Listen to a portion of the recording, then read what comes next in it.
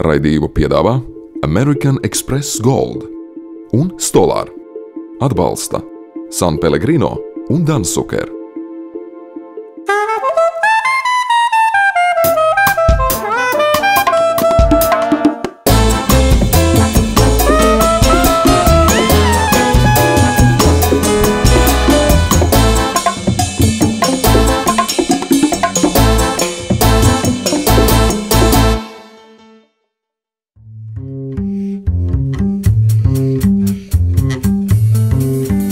Šodien dosimies uz sniegoto Igauniju. Iztaujāsim par mūsu ziemeļu kaimiņu labākajiem restorāniem. Vērosim restorāna Čaikovskis pavāra meistarību klātienē, bet noslēgumā uzzināsim daudz interesanta par karalisko kaviāru. Savukārt restorāna Vincents Vīnzinis Raimons pastāstīs, kādi dzērieni ir piemēroti šai delikatesai.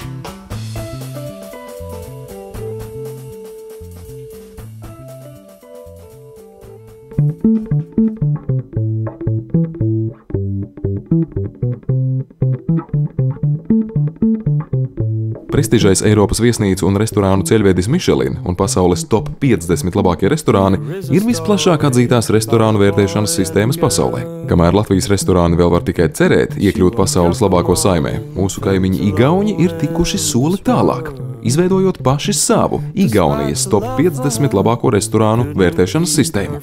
Jau vairāk nekā piecus gadus par tās aizbildni un tēvu var dēvēt Aivaru Hansonu. Hi, Ivar. Hi. Nice to meet you.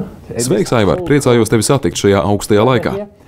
Kādi ir restorānu izvērtēšanas kritēriji, vai tie ir tādi paši kā pasaules top 50?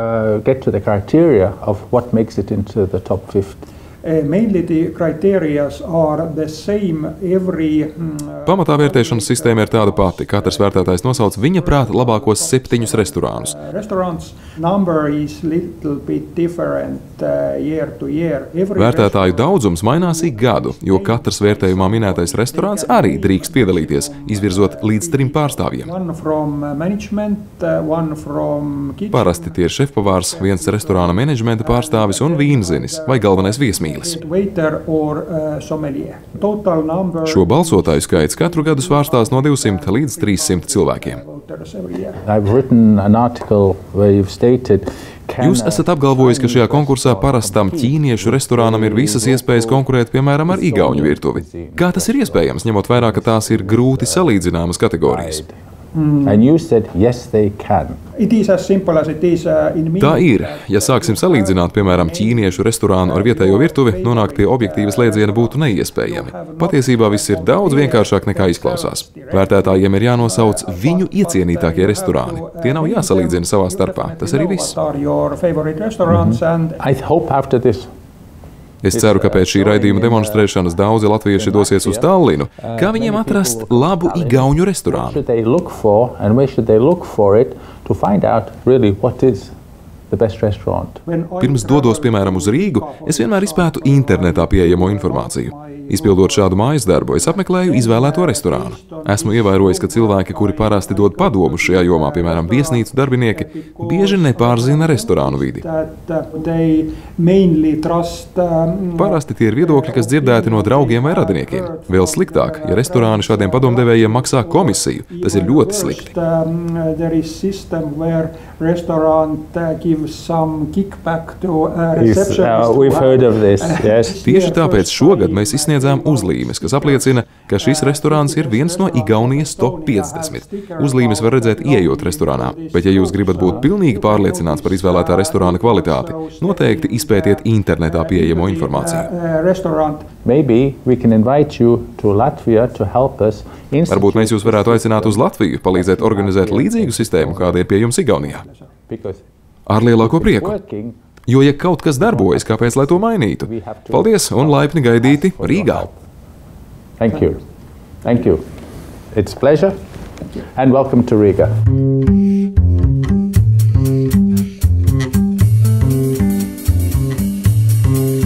Restorāns Čaikovskis, kas atrodas Tallinas viesnīcā Telegrāfs, tiek augsti vērtēts gan pilsētas viesu, gan arī vietējo iedzīvotāju vidū.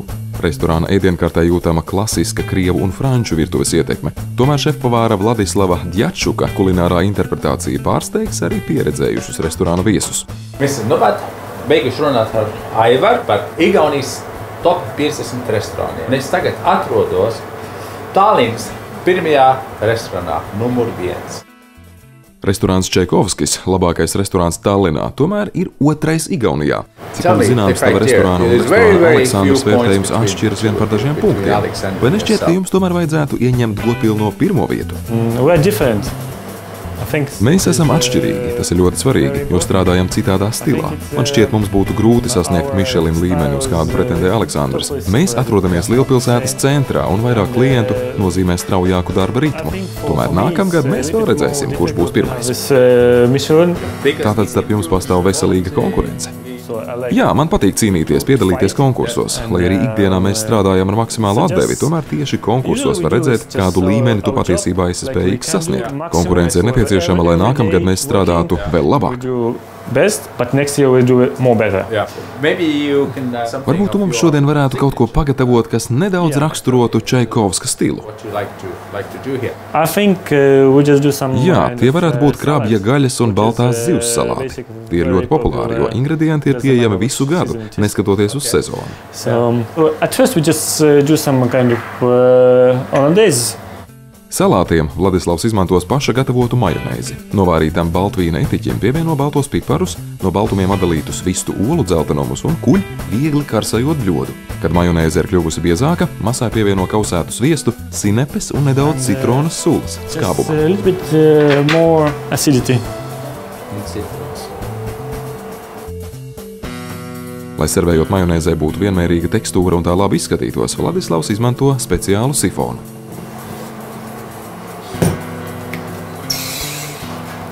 So, what we have here, it is uh, like I said. Šeit mums ir a iepriekš novārīta baltā zivs. fish. Uh, So Latvia, we Latvijā mēs visticamāk izmantotu zandartu, kas būtu ļoti piemērota zivs šādiem salātiem. Uh, I just keep it one, uh, one half. Šeit var redzēt, esmu nedaudz atstājis zivs ādu dekoratīvos nolūkos. To, protams, var pirms ēšanas notīrīt. Tālāk seko krāpja gaļa. Uh? Yeah, it is from Norway. Ah, Tas krabs viņš nāk no Norvēģijas. Viņi nāk viņam uh, jēli. Viņš iet viņa pārtiks plēvē, sāls ūdenī ar bišķi cukuru. Tas ir tāds Yeah. uh, krējums ar citronu. Uh, mīzu ar citronu mīzu. Just a little bit, yeah, creamy good. Salātus papildina ar sarulētu svaigu gurķi un pievieno viegli marinātu just put it fenkeli. like a. Marināta pēnhela, kas iet ļoti, ļoti labi zivīm. Slice it of the celery. Te ir selerī kāds, viņš ir plāni nomizots, tad uh, ledus ūdenī uzturēts, lai viņš tāds kraukšķīgs paturās, un viņš nav tāds vārgulīts, bet viņš tāds kraukšs viņā ir. It's a Russian Russian kitchen without cover, not Russian kitchen. That's yeah. right, yes. Yeah, so we just put it in and pocket in some pocket. Un tad melnie ikri, So just a little bit. viņi saka, ka uh, krievu virtuve nav krievu virtuve bez Yeah, ikriem. just a bit more. Un Latvijā arī tagad mēs audzējam tos ikrus, arī paliek ļoti, ļoti populāri, ļoti daudzos restorānos parādās mūsu paši ikri. Salātus dekorē ar fenheļa lapām, svaigām burkānu lapiņām un dillēm. Beigās Vladislavs pievieno savu pašgatavoto majonēzi un kaltētas graudu maizītes strēmeles sea bread, yeah? Right, but yeah, yeah.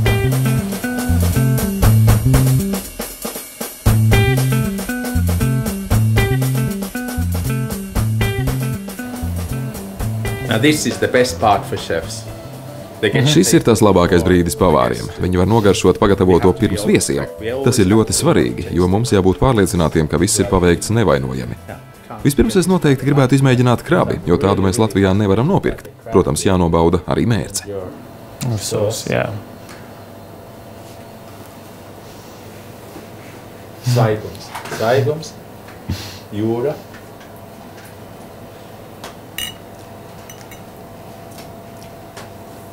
Mm.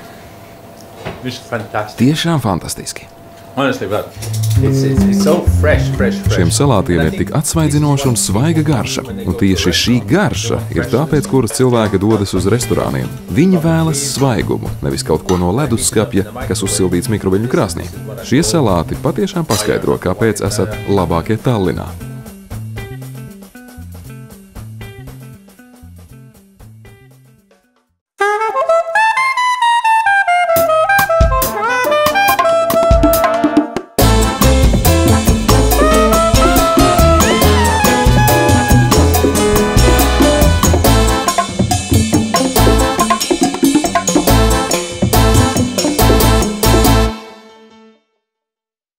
Nu, pat pabijām, paciemamies Tallinas labākajā restorānā Čaikovskijā.